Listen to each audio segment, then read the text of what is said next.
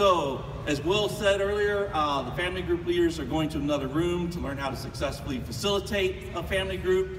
And the rest of us are in here to learn about being a member of a small group. That may seem to be kind of uh, self-explanatory or whatever, but a lot of us have, have kind of forgotten about what that's like. It is not systemic to one region or another, but across the whole church, which is why we're talking about it. And um, I include myself in that number because I don't lead a small group. So I'm, I'm right here with you guys. I'm a member of a group. And uh, first question is, you know, why do we have small groups? You know, Will last midweek talked quite a bit about the history of our churches and small groups and things, but really, small groups are not exclusive to our church or to any particular denomination. Um, you know, because many different churches utilize small groups. Why? Because they're biblical. You know, right back to when God first divided the nation of Israel into 12 tribes, you know, he broke them into smaller groups. In Exodus 19, excuse me, Exodus 18, verse 21, you know, Moses' father-in-law, Jethro, comes to see Moses just being swamped by people with every need there is within the whole nation of Israel. And he tells Moses, select capable men from all the people and appoint them as officials over thousands, hundreds, fifties, and tens. He broke them down into smaller groups. Flash forward to the New Testament. You know, Jesus had his 12 disciples, and within that group of disciples, he had three that he was particularly close to. He broke them down to an even smaller group. And even when there were thousands coming to him to be taught, thousands coming to be healed, to be fed, he still maintained the intimacy of the small group. He had his 12. In Mark 6, 7, Jesus takes those 12 and he breaks them into smaller groups and sends them out two by two. Nehemiah tells us that Jerusalem's walls were rebuilt by small groups working specific sections of the wall. You know, the, um, the modern church, the walls of the modern church are not built necessarily brick and mortar. They're built by the relationships of the Christians, primarily within small groups, because that's where you get that intimacy to build those relations with.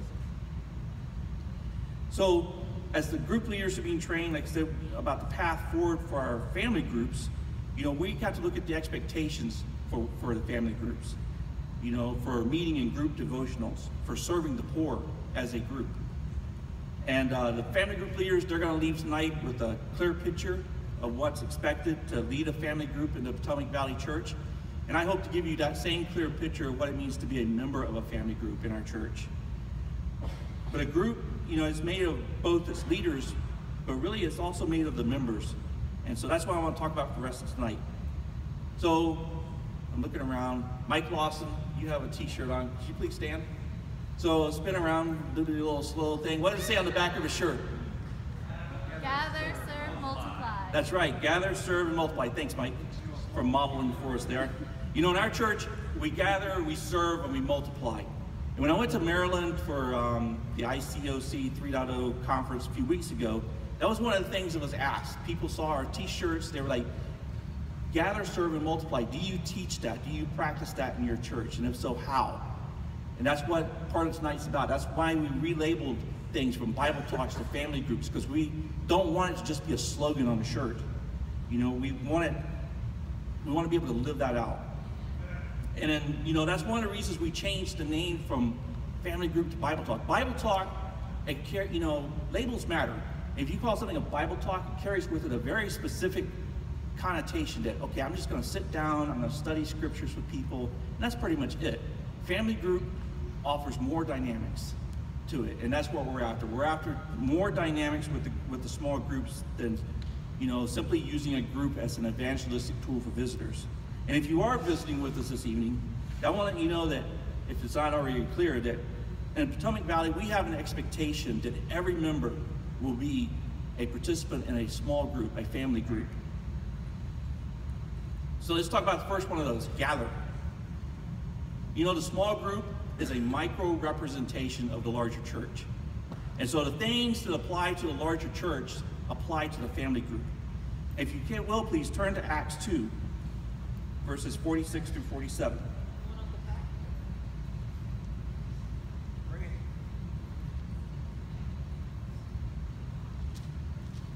And it reads, Every day they continued to meet together in the temple courts.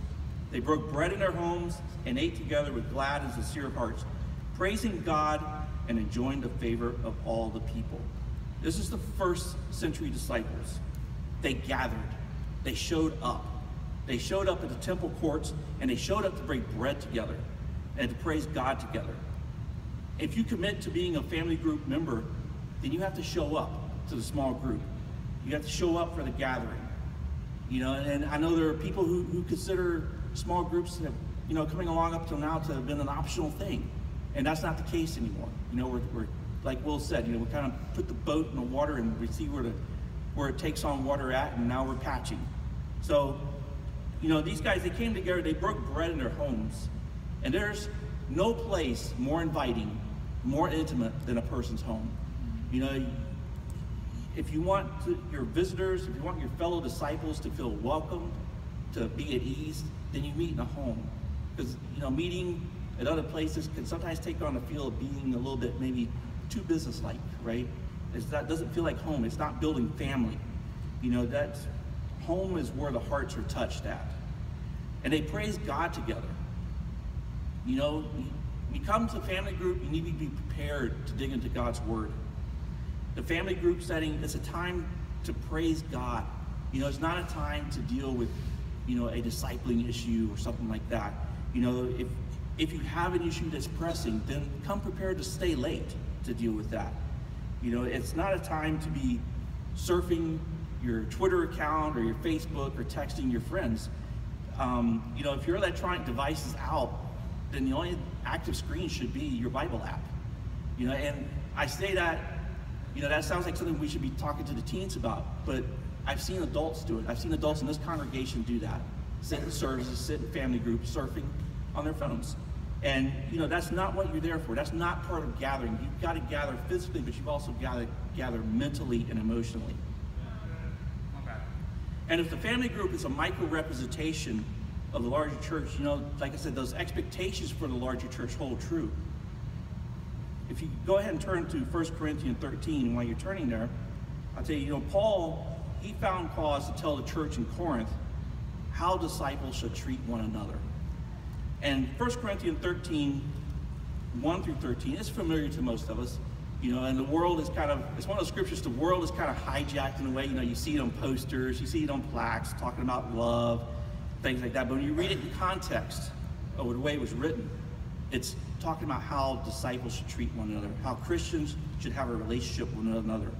And specifically, verses 4 through 7, they read, Love is patient, love is kind, it does not envy, it does not boast, it is not proud, it is not rude, it is not self seeking, it is not easily angered, it keeps no record of wrongs.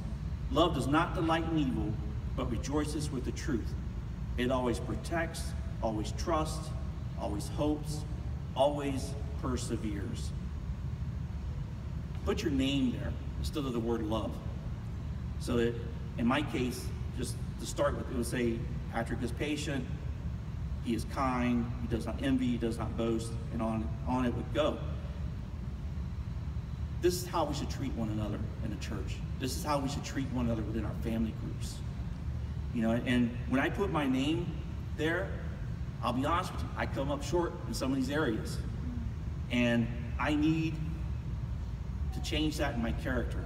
I need my family group to help me with that, to help overcome blind spots. We all have blind spots to what's in our character, and I need others to come in and help with that. Um, you know, because otherwise I can't grow to be the disciple I'm supposed to be. I can't grow to become the best family group member I can be as a ligament of that particular body. So put your own name in there. Grade yourself. And if you need to repent of some things, you know, that gives you something to talk about with your discipling partner. It gives you something to talk about in a devotional group. You know, to and it gives you something to work on. It gives you a, a spiritual goal to work towards. So we gathered. Next was we serve. So turn to Philippians 2, 5 through 8.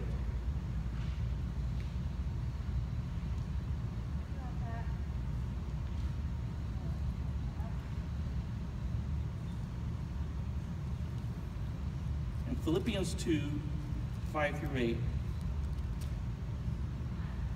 reads, my version reads, Your attitude should be the same as that of, Jesus, of Christ Jesus, who being in very nature God, did not consider equality with God something to be grasped, but made himself nothing, taking the very nature of a servant, being made in human likeness, and being found in appearance as a man, he humbled himself and became obedient to death, even death on a cross. You know, it says that Jesus did not consider equality with God something to be grasped. He was humble. It says that he made himself nothing, taking the very nature of a servant. He was a servant. It says he humbled himself and became obedient to death. You know, Jesus put others first. He put me first. He put you first. You know, to go to the cross, to die on the cross so that we could be reconciled with God. I mean, that's the ultimate of putting others first. You know, that's the ultimate of a servant, the ultimate of being humble. I mean, because Jesus, he was a son of God. I mean, he could command legions of angels. And if there was ever anyone who was entitled to respect based upon their life or their position and things, it was Jesus. But he was humble. There was no entitlement. You know, we um, sometimes fall into the trap entrapment of thinking we're entitled to something, whether it's based on our spiritual age, our physical age, our income bracket, our profession, whatever. You know, but without Jesus, we're entitled to nothing but damnation and death. You know, if the whole group, you know, were to be like that, just imagine where your group could be. You know, being a humble servant who puts others first, it means doing your part for the group. It means being willing to help plan for things like childcare within the group. It means being willing to offer to contribute to the menu for the night if you're serving food that night. You know, it's not always up to just one or two people to do all that. It's not just up to the leader leadership to do that. And again, just think if your whole group was humble, were humble servants, putting others first. Because a group like that will naturally start to look outward to see what other needs are out there that can be met. Mm-hmm. You know, looking out into the community to see where the needs of the poor are at. It translates into serving the poor. Each family group tonight, or coming up in the next weeks here, is going to be asked to set aside time to serve the poor in your community.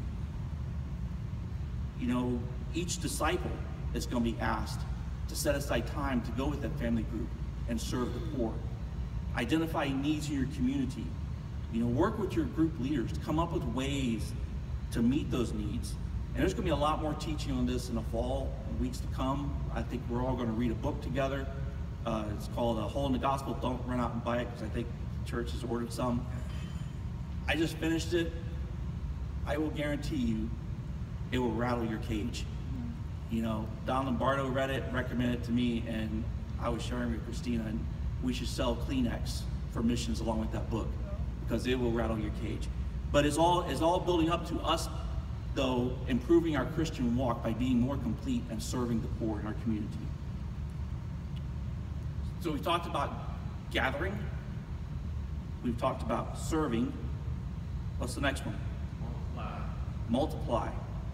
Turn to Acts 11, going to verses 19 through 21.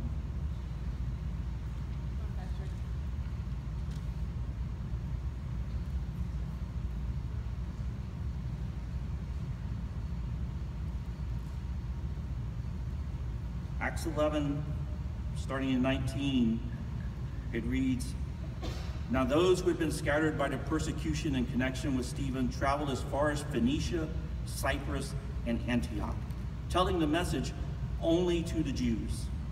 Some of them, however, men from Cyprus and Cyrene, went to Antioch and began to speak to the Greeks also, telling them the good news about the Lord Jesus. The Lord's hand was with them and a great number of people believed and turned to the Lord.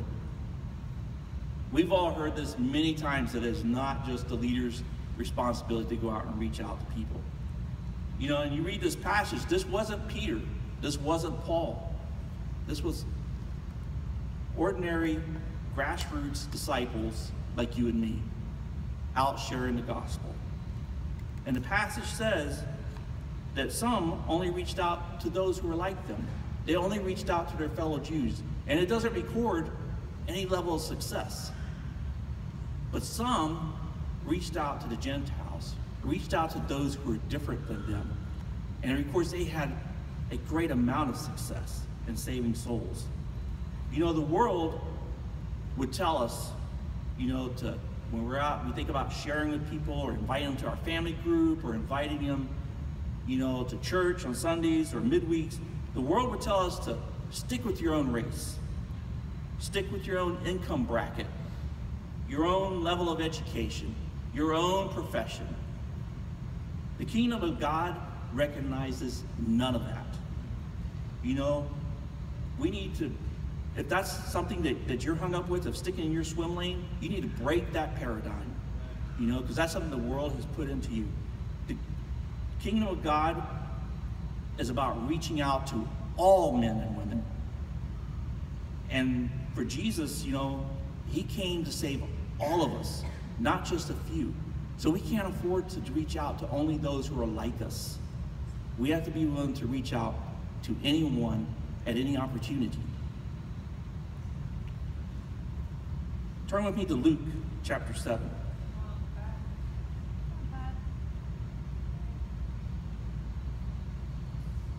Luke chapter 7, starting in verse 44. And this is Jesus that we're talking about here. Then he turned toward the woman and said to Simon, Do you see this woman? I came into your house. You did not give me any water for my feet, but she wet my feet with her tears and wiped them with her hair. You did not give me a kiss, but this woman, from the time I entered, has not stopped kissing my feet. You did not put oil on my head, but she has poured, poured perfume on my feet. This passage, we need to treat our visitors as we treat our brothers and sisters. You know, Jesus, he noticed that he was being treated differently. Our guests, they already know they're the visitor. They already know they're a guest.